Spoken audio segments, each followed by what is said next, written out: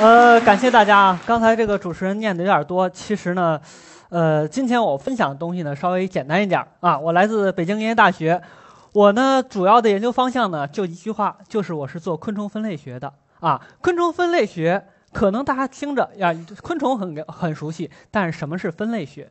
作为一个分类学家，我日常的研究方向分为很多很多个方向，但是我觉得在这个地方我们时间也有限，在座的更多是小朋友。为了让大家呢能更有兴趣，我讲一个大家最有兴趣一件事情是什么呀？捉虫子。哎，所以呢，今天我的这个汇报的题目叫做“我是一个甲虫猎人”，什么意思啊？就是讲一讲我抓甲虫的故事。那么大家听了，觉得这个抓虫子好像是一个很简单、很小的事情。小时候是不是都有些同学都抓过虫子呀？我像你们这么大的时候，我小学的时候我就开始抓虫子了。我跟大家一样，都是北京的小学生那时候。那么我当时当然嘛，我们学校家长管的也没有那么严格。我们学校树上长了毛毛虫，我就会把这毛毛虫抓回来，搁到铅笔盒里。上课老师讲课讲的不好听的时候，我就拿毛毛虫给我拿出来盘一盘。当然，这个是小时候的抓虫子。那么，当我现在我变成了一个大学老师之后，我是怎么抓虫子呢？换句话说，作为一个专业的分类学家，怎么抓虫子呢？首先给大家展示一个我抓的虫子。换句话说，实际上是我想显示一下，我显摆一下我抓这虫子。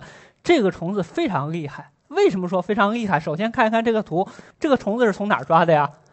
这个位置是中国的西藏的普兰县。啊，位于中国尼泊尔、印度三国交界的地方，非常难去，非常远。那么这个虫子抓的一定不容易。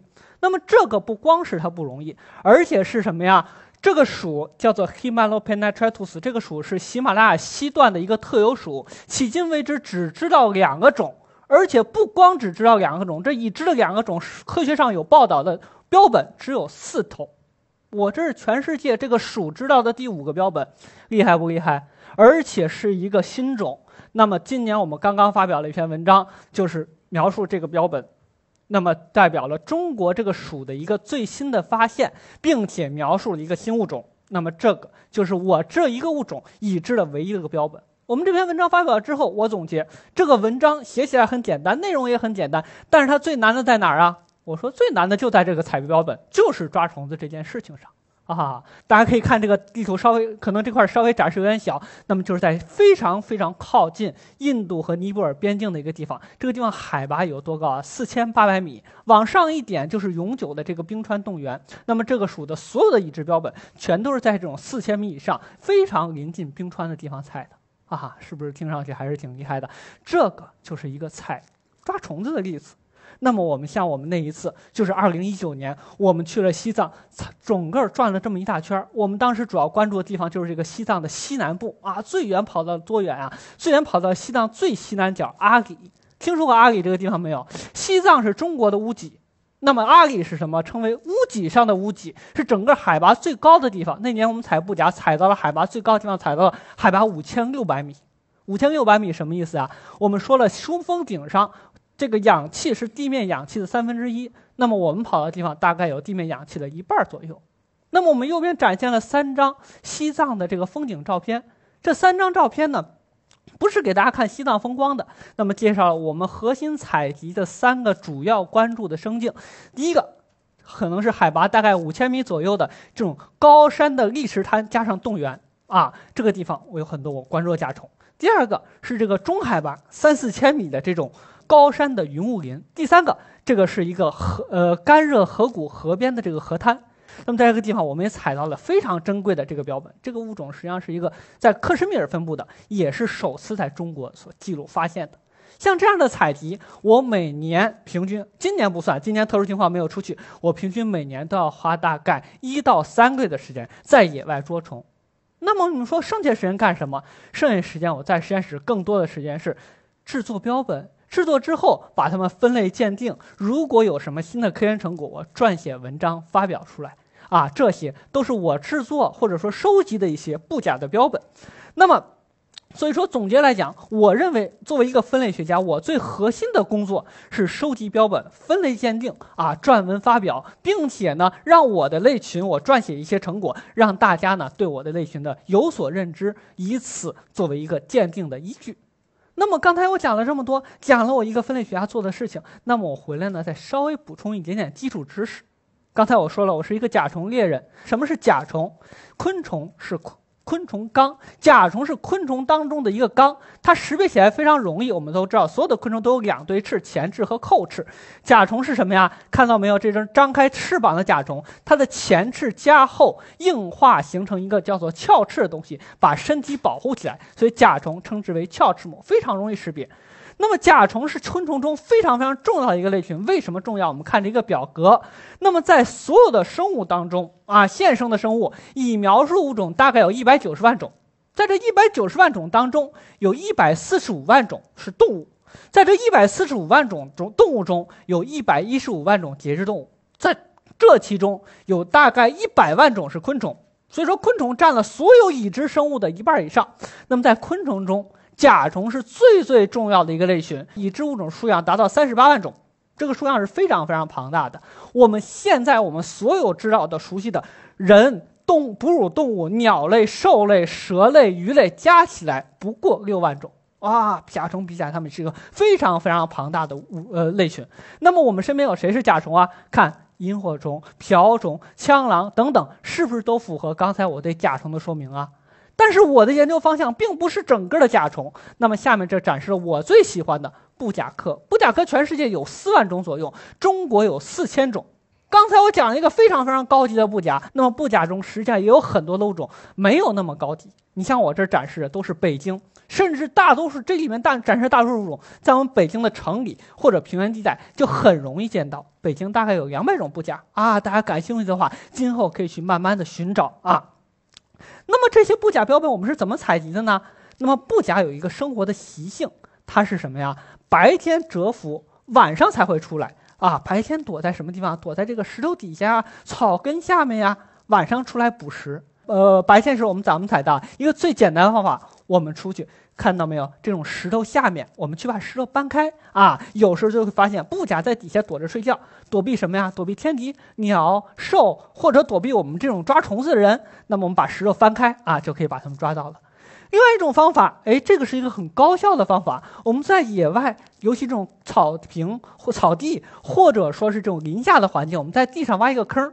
把这种一次性的塑料杯埋在地表，呃不地地面下面，让杯口和地面劈平，然后呢，往里面搁一点点甲虫喜欢吃的东西，喜欢吃什么呀？最简单了，陈醋加白酒啊，把这两个一比一对上，我倒到杯子里一点点，然后回到呃我住的地方，然后第二天再来，晚上这个布甲出来活动，就会掉到我的陷阱里面，然后就被我抓到了。对吧？那么另外还有一个我们非常喜欢的生境，河边这种开阔的河滩啊，这个上面有很多的布甲，但是采集这种布甲并不容易，因为河滩上面石头太多了，我们不可能一个一个翻开，那需要怎么办呀？我们晚上会打着手电，打着头灯，我们到这个河底去找。哎，我们会发现白天很安静的河滩，到了晚上情况就是不一样的了。这些布甲像下面这张图一样，全都站起来了，在河滩上走来走去，我们是不是就能很容易把它们抓到了呀？啊，刚才我们讲了这么多，怎么抓虫子？那我们再看一看，这个布甲叫做山地布甲属，在中国专门分布在海拔非常非常高的这种高原上面啊，就是在整个的四川的西部啊，包括西藏东部，物种非常繁多。我展示这两张这两个虫都非常好看，但实际上是同一属的两个物种啊。那么它生活在什么环境？看这张图啊，这个是在西藏的南部，海拔大概也是四千八百米左右的这种高山砾石滩上，在这个雪线和这个碎石坡上是没有的。我们看到边边上是是不是有一些长了草的地方？这个长草的地方有些碎石，哎，我们白天去把这些碎石扒开，就会有可能踩到这种非常好看的这些布甲啊。那么刚才我讲了这么多的同学一定有疑问了，说你为什么总是要去那种那么难去的、这么辛苦的地方去采布甲呀？大家想一想，为什么？首先，这个地方难去，那么你采到标本一定是比较珍惜的，对吧？比较珍惜的，那你就有可能会发现别人没有发现过的物种。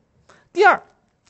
这个是我着重要讲的，在整个的横断山区，地形非常复杂，而且地质变动非常复杂。你中国大的地震几乎都在西南的横断山区，这个地方地质变动非常复杂，物种进化速度也快，物种隔离性也强。那么在这个地方，可能我每隔五十米、五十公里，不同的山头我就能采到不同的物种。而在北京，很有可能我们北京的物种一直分布到东北，也有可能一直分布到新疆。那么可能我采了两千公里的公呃路，都采的是同一个物种啊。那么再看这个标本啊，这个非常好看呀！这个是在四川海螺沟海拔四千米左右的这种高山杜鹃矮灌丛上面，我用背釉采到的啊。这个大布甲，你看身上闪着光线的金色的星星。那么这个也是我们非常喜欢的一种生境，叫高山云雾林啊。在这里面布甲数量非常非常多，有时候一天我可能能采到很大量的标本。那么有的人同学一经问了，说老师你跑了这么多的地方，野外遇到过没遇到危险啊？那我想作为一个昆虫学家。野外，我觉得遇到的危险很多都是我能控制的啊，因为为什么呀？野外昆虫上面的危险我非常了解，那么其他大的动物我也不去招惹它。但是在所有昆虫中最危险的是什么呀？这展示一个图，我认为所有昆虫中最最危险的就是这个胡蜂。我在野外也遇到过胡蜂，一般我不去招惹它。但是我们采集呢有一个很重要的方法叫做震步法。什么叫震步法？我拿一个布，右手拿一个棍儿，我去把这个甲虫敲。树枝什么敲落，敲落到我的这个震布上面，我就可以把甲虫采回来了，对吧？有一次我一不小心就敲到一个这玩意儿，把这玩意儿敲到了布上，哎呀，那可不了不得了！我一看，我赶快跑，跑了之后把我所有东西都不要了，我跑，跑开，然后等了大概可能半个小时啊，看着那块安静了，我赶快把我的工具拿了，我跑跑掉啊。那么刚才我讲的是我的布甲，肯定有同学也问了，老师你踩的布甲危不危险？我的布甲大多数都不危险，但是也有一个家伙危险。这个家伙危险的叫什么？叫做屁布甲。屁布甲属，顾名思义，它危险在哪儿啊？它危险在它会放屁。有同学说放屁算什么本事啊？这个一点都不厉害。那它的屁跟你的屁不一样，它的屁温度可以高达一百五十度以上。哎呀，这是粉烫的屁。有时候我们拿手一拿到，就听“啵”的一声，整个手会给烫红，而且非常烫，又烫又灼烧的很疼。那在野外怎么抓这个屁股甲呀？我有时候会拿一个大的镊子，拿镊子把它夹起来装到瓶子里就 OK 了。但是偶尔我也会没拿镊子，没拿镊子怎么办呀？我没拿镊子可以拿脚踩住它，你会听到脚底下“啵”一声，再踩一下“啵”又一声，可能最后吧，它也就“啵”个三四下，最后感觉没有力气了。为什么呀？它体内的这个防御液用完了，它没有放屁的功能了。这时候我就可以用手抓起来它了，对吧？啊，那么这个屁股甲为什么会产生这么高温的气体？哎，这个是整个昆虫中防御系系统上非常非常特别的一个例子啊。前段时间我查了一篇文章，看到了这个屁股甲，它这是它的防御系统。右边呢是一个示意图，它的防御系统呢分成两个部分啊。那么它的这个屁放出来是什么？呃，昆虫学家研究了，它屁放出来的高温的东西，主要是右边这个这个化学物质，叫做苯醌。那么它在它的防御系统里面，实际上在基部的，就是这个蓝色的这个防御线里面，它储存了两种化学物质的混合物，分别是过氧化氢和苯酚。过氧化氢和苯酚在正常的情况下是不会发生反应的。但是，当它经过了这个过氧化物酶的催化的时候，它们就会发生反应，生成苯醌，并且同时产生大量的热，这个就是它的屁的来源。我们看下面这个粉色的这个区域，储存的是什么呀？过氧化氢酶。那么，我过氧化氢和这个苯醌、苯酚的混合物遇到了过氧化氢酶之后，那么就会产生这种高热的屁，一下不的放起来。啊，这个就是一个屁不甲放屁的例子啊。那么讲到最后，我想用这张图来给这个汇报做一个结束。这张屁不甲看着也不好看，看着非常普通，甚至说你看缺胳膊断腿儿。大家看右边这个标签，就中间这个白色、灰白色这个标签，上面展示这个标本的采集信息。它是一九零零年在印度南部的班加罗尔采的，印度南部。现在是一个人口非常繁华的地方。一九零零年，这个虫子它的这个这个这个年纪有多大呀？比我爷爷大十岁啊，年纪非常非常大。它是我在二零一三年时候发表的一个新种。这个新种发表的时候只知道这一个标本，啊，这个标本非常稀少，而且这个提示了什么呀？很有可能在我们现在。这个物种已经不存在了，对吧？它的采集地方是一个非常繁华、非常非常人口密集的地方。我前段时间在果壳上看了一篇文章，说过去二十六年，我们可能拯救了二十七个物种以避免灭绝。看到这个时候，我非常非常感慨。很多的保护生物学家用了很多的例子去避免了这些物种的灭绝，但是呢，我们昆虫，我们昆虫很卑微，有大量的物种可能甚至在我们人类灭绝、人类认识它们之前，它就已经灭绝了。你像这个物种，它非常幸运，它幸运在什么？它在一百多年前被当时的这个甲虫猎人把它采集了，收藏到标本馆里了，得到了今天能够让我们去认知它们。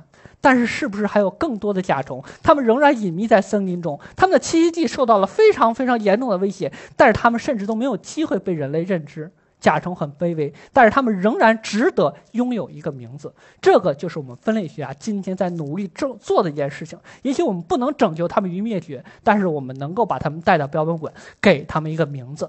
好，谢谢大家，我的讲座到此结束。